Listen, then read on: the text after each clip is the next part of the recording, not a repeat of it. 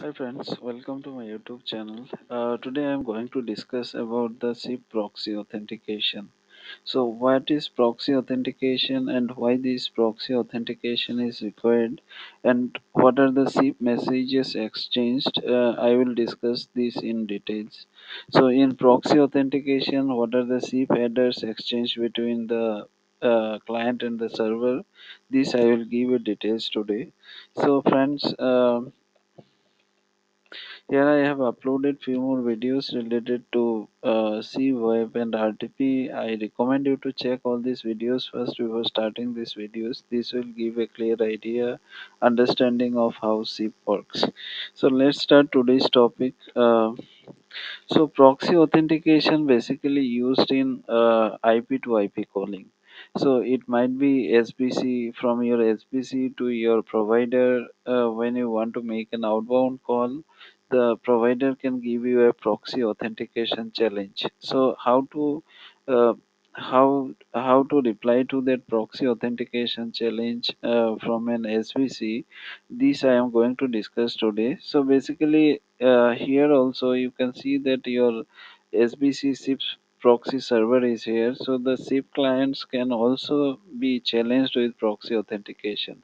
But these basically the web and soft phones that we use, most of them are registered with the server. So they are calling based on the registration. But when this uh, user agent is not registered and able to make IP to IP call. These cases also uh, SIP proxy can provide a proxy authentication challenge uh, to the SIP client. But mostly this is used uh, between your SBC and the provider because SBC to provider it's always IP to IP calling most uh, when it's IP to IP calling. There are multiple ways of calling are possible like IP to IP calling, registration based calling, proxy authentication based calling. So uh, there are multiple possible, but I am going to discuss about the proxy authentication today. I have discussed it in another video. I recommend you to check those videos. So here, what is the flow of proxy authentication? So when your proxy server uh, uh, wants to make an outbound call through a proxy uh, through your provider or any other third-party proxies, so this proxy uh, uh, these and these two nodes uh, these might not be registered SIP trunk. This can be an IP based SIP trunk. So this case it will send an invite to the uh, SIP proxy provider. So it will respond with 407 proxy authentication challenge. Then it will send back an ACK then it has to send the invite with the uh, authentic authorization header so what is this authorization header basically when you create a SIP trunk when any third party provider or any uh, i mean any telecom provider or any third party provider provides a SIP trunk uh, to your SBC. So uh, they provide some username and password. So while you want to make an outbound call through this proxy, you have to uh, authenticate your call. So this kind of authentication is done with 407 proxy authentication. So uh, this I am going to discuss. You know you can understand the flow here. You send an invite. Proxy will respond back with 407 proxy authentication challenge. Then you have to send. Uh, then the SBC will send an acknowledge. Then it will uh, send an uh, invite with the authentication header so rest of the flows are like uh, after that is uh, once the proxy authentication is successful the rest of the flow is uh, normal SIP call flow only so this is the difference. So i am going to discuss this uh, with a Wireshark example.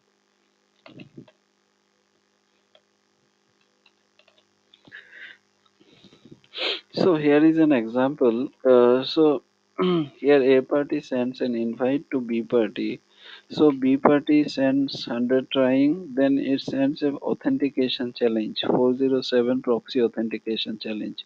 So in this authentication challenge uh, it sends a proxy authentication header where it sends a uh, digest realm. Uh, so these are the parameters realm nonce and the qop auth.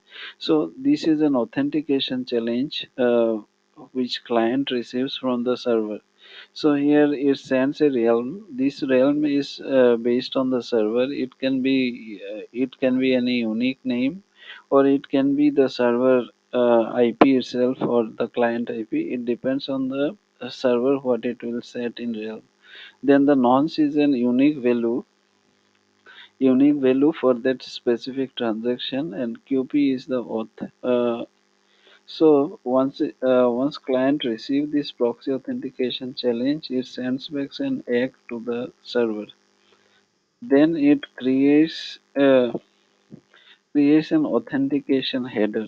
So this authentication header is uh, it, it, has username then uh, it sends the realm as it is what it receives in its uh, this requ- uh, request it response is same then the nonce is also same what it received in the initial request.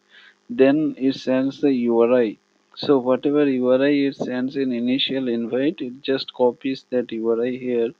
Then qp is auth. Then it's it adds an NC and uh, cnonce, these values are unique.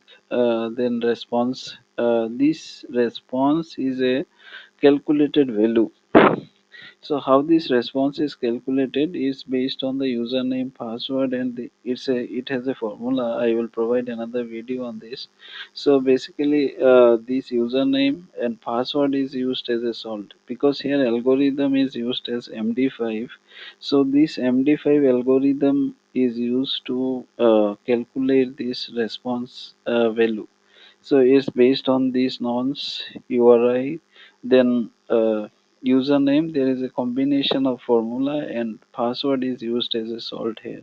So this is how it uh, how this response is calculated and sent to the uh, with this invite it adds this authentication header and this authentication header is sent to the b party server so there is this authentication challenge gets uh, uh, created and server check this response uh, server also calculates based on its values. Server also calculates this response value. If this response value matches then server allows the invite uh, to go out else it rejects the invite.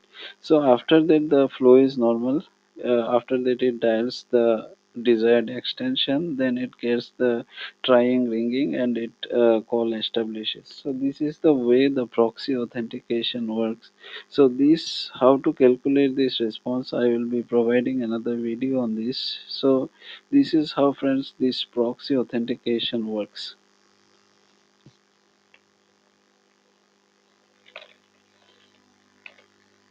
So this is the complete flow. Once the authentication is successful then the proxy server uh, dials the desired extension and after that the flow is same. So so as an user agent uh, you will just dial to server but server will take care of the proxy authentication challenge. But if the proxy authentication challenge is thrown here then uh, this endpoint needs to know the uh, username and password then it has to uh, create the invite. Basically this is followed here.